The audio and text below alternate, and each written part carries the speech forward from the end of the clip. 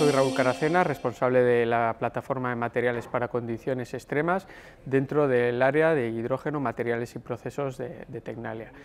El estudio de los comportamientos de los materiales en condiciones extremas de servicio es el core de, nuestra actividad. Eh, trabajamos estudiando los fenómenos de degradación y deterioro de los materiales con el objetivo de ayudar a las empresas en la selección de los materiales, tanto desde las fases de diseño como eh, establecer programas de mantenimiento o, cómo proteger esos materiales en, servicio.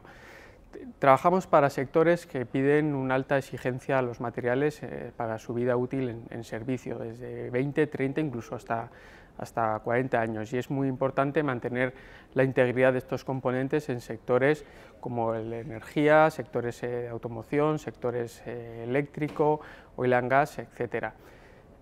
Últimamente, en los últimos años, venimos trabajando mucho para las nuevas tecnologías emergentes orientadas a reducir las emisiones de, CO2, como son las energías renovables, hidrógeno, biocombustibles o captura y almacenamiento de CO2, donde hay una alta, alta exigencia para establecer la compatibilidad de materiales con estas condiciones exigentes en servicio.